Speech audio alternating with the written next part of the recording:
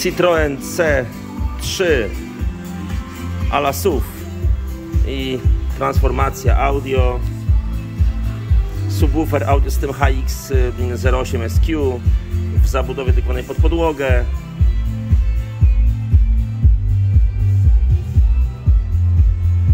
Wzmacniacz audio system X80.4 DSP zbudowanym pod sterem DSP tu obsługa tego podstara na laptopie a z przodu HX 165 SQ Evo 3